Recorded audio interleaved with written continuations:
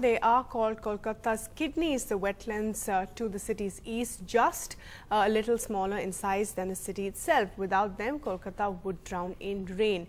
And uh, a range of laws protect them, but illegal constructions are on nonetheless. The state often has blinkered. The Green, the National Tribunal has now, however, uh, cracked down on offenders. The latest being a building that is being linked to the art of living Sri Sri Ravi Shankar.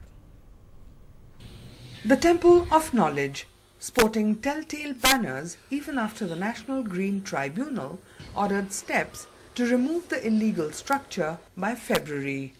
For NGO public that went to court to save the wetlands on which this is built, big relief. At the minimum, you should comply with the local laws, no matter who you are, where you are. If you are acting in the name of Sri Sri Ravi Shankar, for God's sake, for Godman's sake, comply with the law. It's a very uphill battle. Government hasn't moved court. It's we who moved the court and they supported us. That is a first. Public's petition of May 2016 was not just against Vedic Dharma Sansthan that built this, but also East Kolkata Wetlands Management Authority for negligence.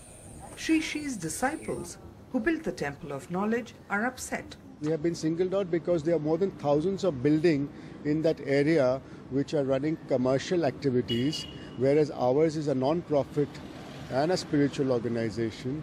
So considering that there's so many such buildings functioning, why have we been singled out?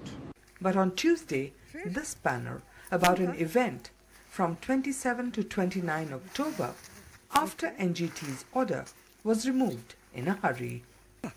In Kolkata, Monideepa Banerjee, NDTV